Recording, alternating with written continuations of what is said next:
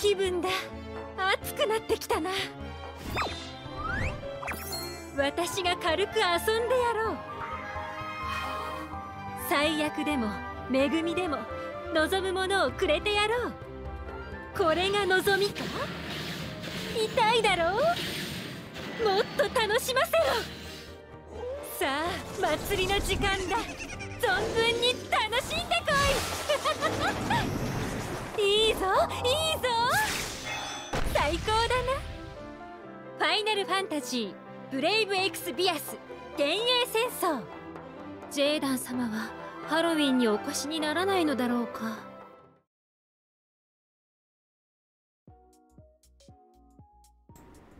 Hey guys, this is Odaiba here, and welcome to my live stream recap video for World of Visions JP official live stream for October 15, 2022. Uh, so what you just saw earlier was the trailer for Halloween Lu'cia, which is of course the latest new unit that will be implemented next Monday uh, in, in War of the Visions JP. So in this recap video, I'm going to just try and briefly cover all of the important information that they talked about uh, on the live stream this time. There's a, a, little bit of a collab, there are some videos, um, video trailers to watch, and they also talked a little bit about some of the things that are coming up for the third anniversary. Now, first things first, I'm going to tackle this in the order of uh, things that they explained and talked about on the stream. So starting with this thing you see right here called uh, Streamer Presents Feast of the Visions. This is a basically, uh, I guess, it's a tournament for streamers for War of the Visions. If you're interested in that kind of thing, um, it's going to take place on October 30th, 8 p.m. JST. Nothing much needs to be said about this, uh, except I think this is uh, something that Asaruto-san wants to do on a more regular basis. And the first time around, this time, uh, the tournament will have random conditions as its rules, apparently. So if you're interested in that, be sure to tune in on October 30th. Next up, they talked about uh, the new unit, Halloween Lu'cia. Uh, they gave a bit of, uh, you know, explanation about her backstory. And, of course, talked about her abilities. I have this uh, thing loaded here. I think it's easier for me to talk about it using these slides. So for those of you who are not aware yet, uh, Halloween Lu'cia is a cost 70 dark unit and her main job is Grimoire Master. And let's see here. So um, previously they didn't talk about her flavor text at all, but apparently uh, Halloween Lu'cia is kind of a servant of the underworld, and basically the setting is such that, well, now that it's Halloween, once again the forces of the underworld uh, have a chance to strike back at the forces of light, so that they will not be confined, you know, to the underworld. And so now basically the idea is uh, Halloween Lu'cia is trying to gather all of the forces under the banner of the Dark Lord Salire and together, you know, uh, the story is basically they're trying to take over the world during Halloween, something like that. It's not a serious story, of course. Um, let's take a look at the abilities of Halloween Lu'cia. So the information that was already unveiled before is that her, sub-jobs are Black Mage and Thief. From So the new info this time, Black Mage, she's getting Flare, and then from Thief, she gets Steel Heart. Limit Burst um, is called Mystic Drain, and what this does is it's basically similar to Astraeus Limit Burst in that it gives Halloween Lu'cia a 3-turn follow-up attack, and after that uh, follow-up attack buff has been given, uh, she will do, this move will do a uh, mag base damage L, and absorb a portion of the damage dealt. And this move is uh, also easier to hit than usual, so usually what that means is this move has uh, accuracy plus 30%. Moving on to the abilities, uh, these two abilities have been uh, talked about in the in-game notices already. If you didn't already know, the first ability is something called Endo Exoru, which is an AoE attack similar to uh, Lightning's AOE attack. I forgot the name of that move. But basically, even on the uh, even on the live stream, they mentioned that this move is essentially similar to Lightning's AOE attack. So what it actually does though is that um, it does damage M, mag base damage M to all targets, and it will give all these targets caught in the AoE the debuff of 3 turn defense penetration down. And uh, if there are any targets caught in this AoE that gets KO'd, Halloween Lucia also gets CT up small, up to 2 uh, KO'd units. so the reason why you know the people on stream were comparing this to Lightning's AoE attack is because obviously if you do if you activate uh, Halloween Lu'cia's limit burst first to get the follow-up attack and then you use this move right here it's pretty much a magic version of Lightning's AoE attack.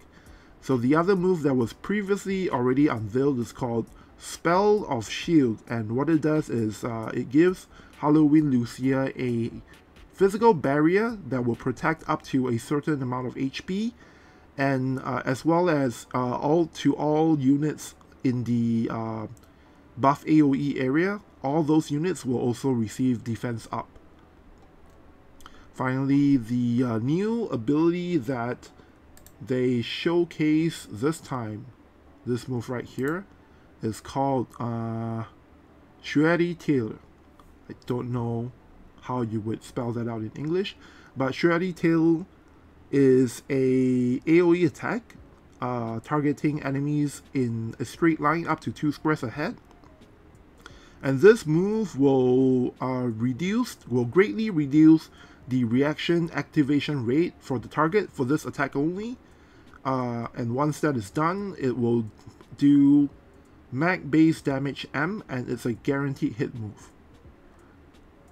Finally, the one there's actually one last thing that um, was actually mentioned about Halloween Lu'cia that is um, not actually covered here, and that is if you read the description of the text, it's actually talking about uh, another buff move that Halloween Lu'cia has that will give her the ability to do AP damage on her attacks, as well as uh, put on Protect on her. So the general concept for this unit is, well, so you know in the past there have been a lot of magic attackers that although they can do a lot of, um, you know, magic damage, they are pretty squishy and, you know, in response to that, Halloween Lu'cia is meant as a low cost, a cost 70 unit that not only, not only does a great deal of damage, but also has quite a bit of uh, defenses and resistances uh, against physical attackers. Um, is there anything else? I, I think that's pretty much it for the unit herself. I think the one last thing that was mentioned on stream is that this um, new main job of hers, Grimoire Master, is not something that is uh, specific to Halloween Lu'cia alone. It's not a unique job. Uh, if you are not aware, some units, uh, especially cost 100 units in the game, are often given unique jobs that are basically an advanced version of you know a, a regular job. For Grimoire Master is going to be a new uh, regular job, meaning in the future you may actually see units that will have Grimoire Master as a main or sub job. So that's the one last thing that uh, the director Fujita-san wanted to mention. So next we have these things over here which are also previously covered in the in-game notices, there's a new weapon, a new book uh, called Mischie Mischievous Witch's Diary. And we move on to the vision card. I'm not going to mention the effects here in the interest of time. Uh, I just want to talk about the new thing that was mentioned on stream, which is that the vision ability Triple Nightmare is confirmed to be a, a three-hit magic attack that has no activation time required and the uh, equipment condition for this is as long as you put this vision card on a unit that has a main or sub job that uses a uh, uh, what do you call this? A rod you know as the the, the weapon. Um, any unit that basically has black mage or white mage or any of those jobs that usually uses a rod as the weapon as long as it's there that unit will be able to use the vision ability. Uh, and one last thing to mention about this vision card. So as you can see here, Halloween Lu'cia is actually in the background because she is kind of like the servant to Dark Lord Salire here. And um, so unfortunately, Dark Lord or Halloween Salire and uh, Halloween Craze are not going to be playable units this time around. There are no plans to make them into playable units at this point. But uh, Nakai-san did mention that, hey, if a lot of players really clamor for this unit, really want to see uh, Halloween, uh, sorry, Halloween Salire or Dark Lord Salire a reality, if they really, if the players really want to see it, you know, please let them know in the future they might do something about that. But it all really depends on the uh, players' response. Okay, so after all this talk about the new Halloween stuff, uh, next the stream moves on to talk about part 3 of the main story. Now I'm going to leave this part to the end of the video because it may it, it may contain some minor spoilers for some people. So I thought it would be better to leave it to the end. So moving on, the next thing they talked about, or rather the next thing that they showed, is the trailer for Another Story Part 2 Chapter 2, which is entitled uh, Itsuwari no Sukui, which is, I believe, translates to false salvation. So before we talk more about this character here, I think let's just take a look at the actual trailer itself. ああいいわその絶望の表情あなたたちだけに教えてあげる本当の私を 国務の力をばらまいてそれを増幅した上で集めている奴がいる。どうやらどこもひどい惨状だったみたいだな。はーい。それじゃあ今回もお仕事を頑張りましょうね。私はビクトラ。ルアーサと二人で。気ままに旅から旅へ。ってね。お聖女様。迷い子たち無情で俗悪な闇を追放し共に正しき道を歩みましょう。聖女様聖女リソル。任務を果たすのに人手が多い方が助かるのは確かだしここは協力してもらいましょうよ。ふざけてなんかない。本気でぶっ飛ばす。ファイナルファンタジーブレイブエクスビアス幻影戦争実はものすごく怒ってるんですよ分かってもらえます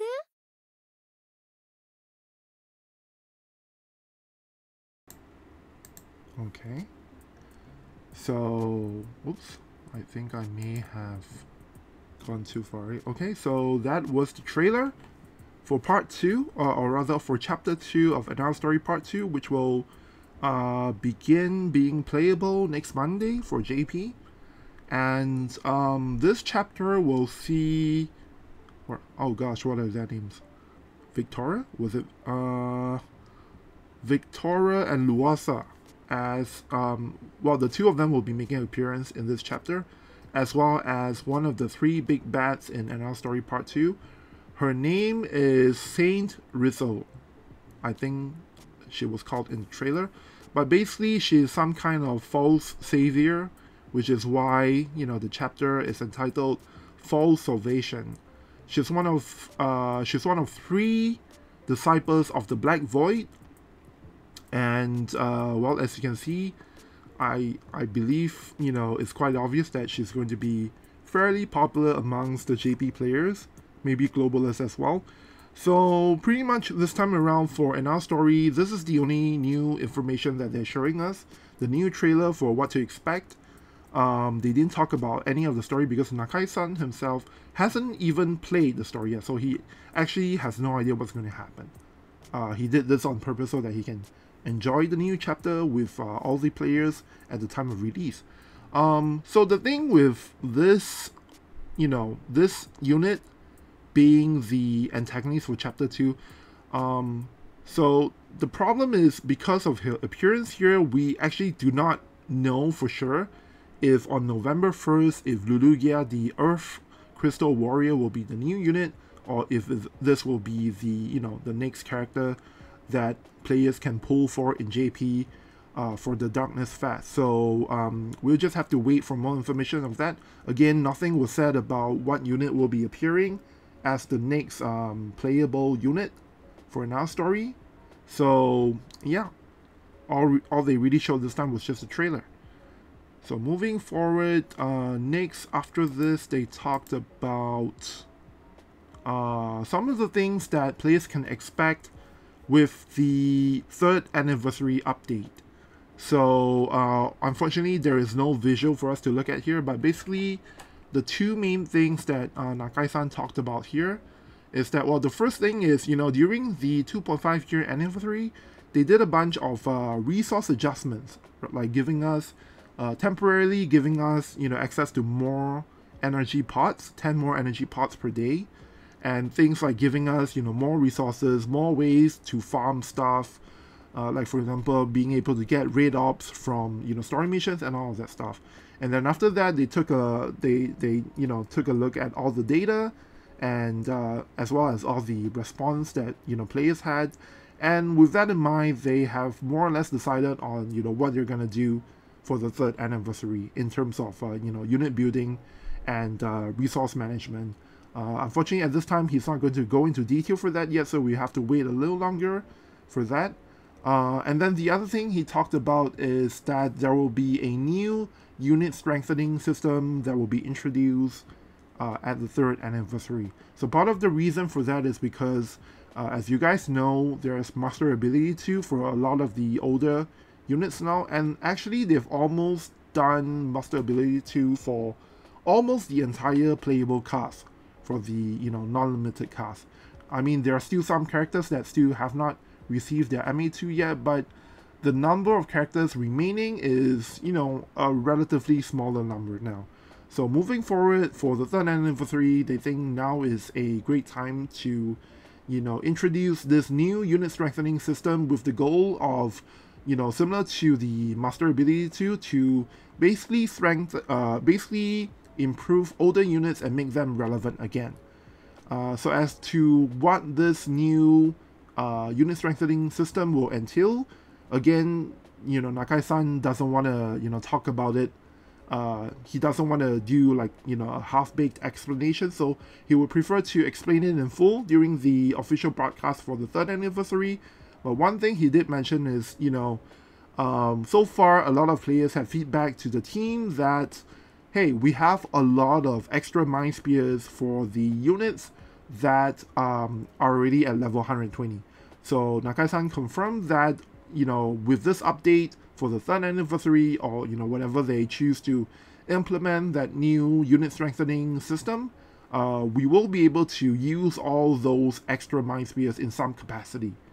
So some way to burn them, you know, to use for this system or for something else. I'm not sure, but basically what he did say is that you know we will be able to use all those extra mind spears that you know we have stored up over a long period of time. And uh, with that, you know, uh, we will unfortunately need to wait for more information. But with the third anniversary coming up in just 30 days from now, uh, I'm sure we'll hear more about it, you know, a uh, couple of days, maybe a week before the actual anniversary. So the other thing he has to share at this point is that the uh, new upcoming guild content, the conquest mode, so as to speak, has finally been confirmed to take place on November 18 to 23. Sorry, the official name for this game mode has also been confirmed. Um, but it's kind of, I, I don't really have, like, I haven't really thought of a good way to translate this. But meaning wise, is basically a region of war where you go around breaking castles. So I, I, I haven't thought of an elegant way to translate this in English, but let's just call it the conquest mode, the guild conquest mode, right? So uh, as mentioned, this mode will finally come to the game in JP on November 18 or 23, and interestingly, during this period of time, there will not be any guild battles, so that players can fully focus on enjoying this new game mode, uh, which is, again, is mentioned before that this mode is purely PvE, right? So all you have to do is work with your guildmates in trying to clear this content. There will not be any guild versus guild component to it. There will not be leaderboards.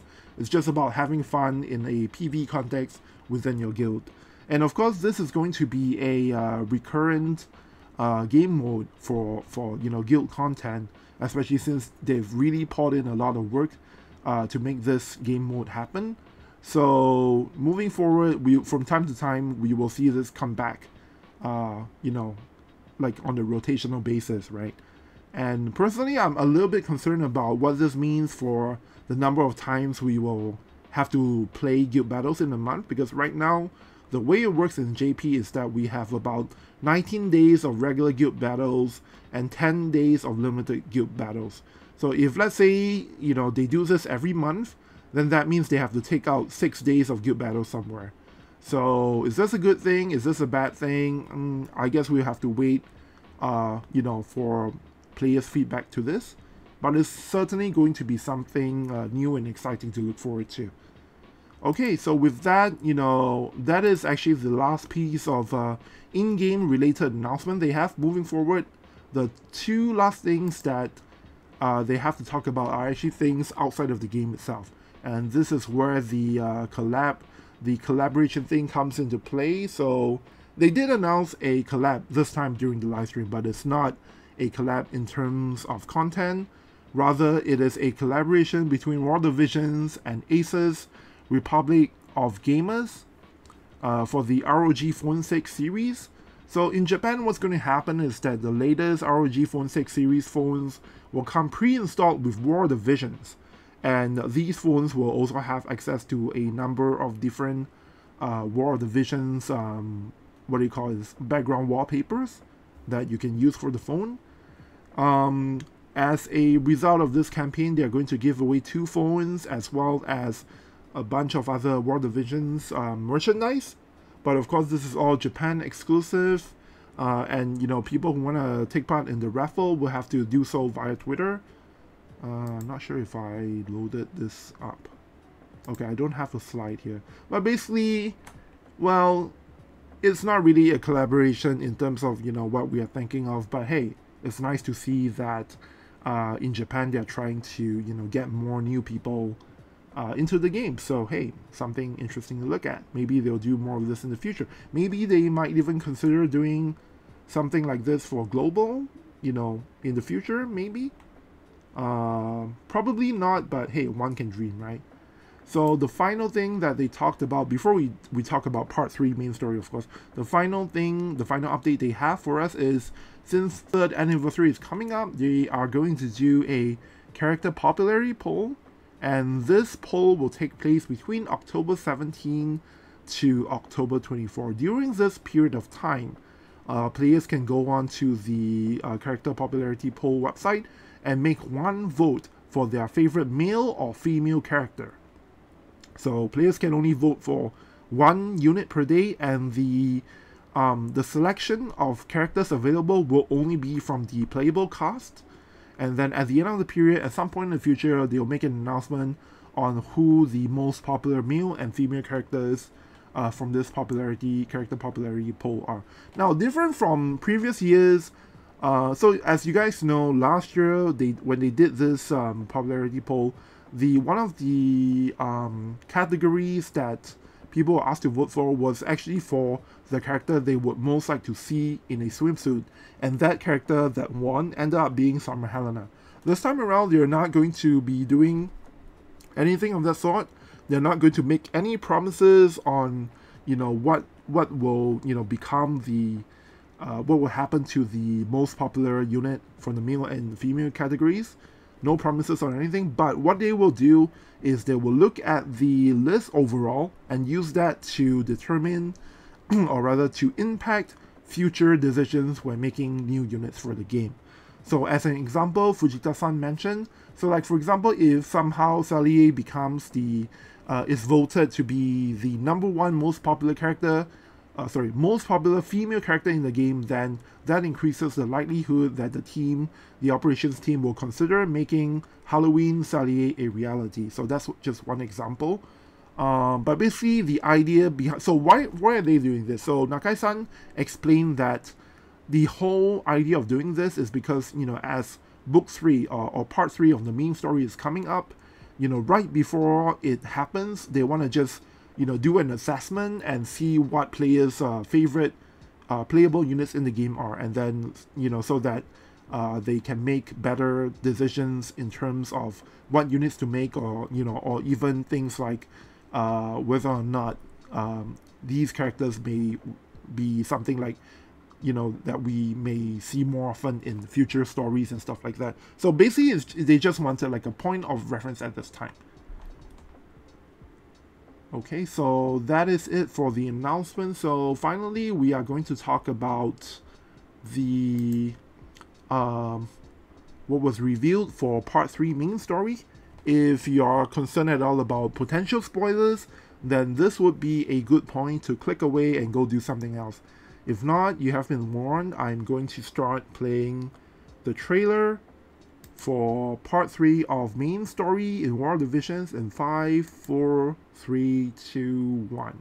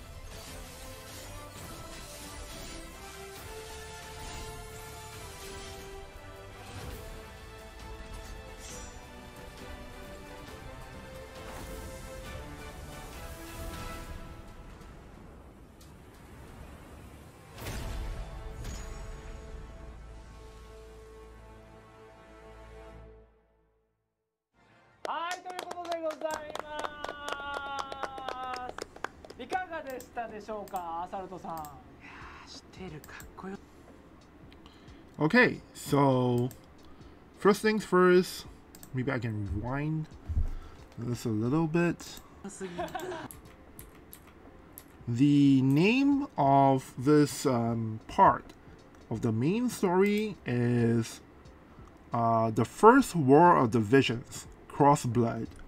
And the reason why they call this, you know, the first War of the Visions is because part 3 main story part 3 will be the last part in the current ongoing arc.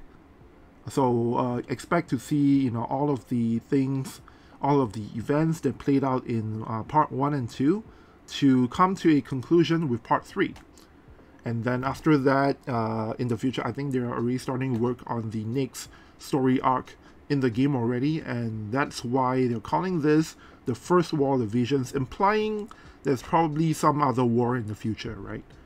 Um, so in terms of actual information about units and stuff in part 3, for now, they didn't, you know, reveal a whole lot, except that this thing that you're looking here is the key visual for part 3 of the main story.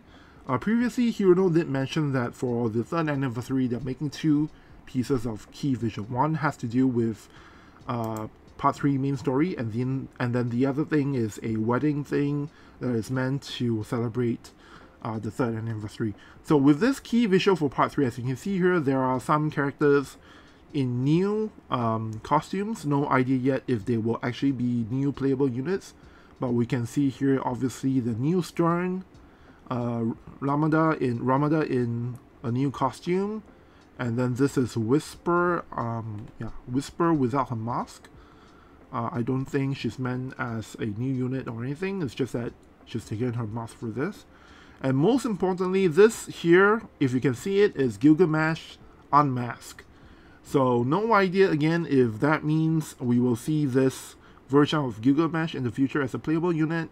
In fact, nothing has been confirmed in terms of what's coming down the line for new units, but uh, expect to see a lot of, um, well, expect to see all these characters as playing a key role in part 3 of the main story.